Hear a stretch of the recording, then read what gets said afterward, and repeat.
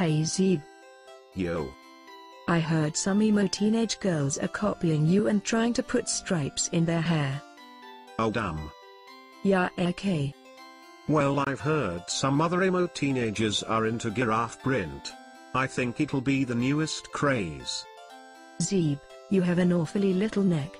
If it weren't so freaking fat, I would wrap my neck around it and tug as hard as I can. It's on Jeff.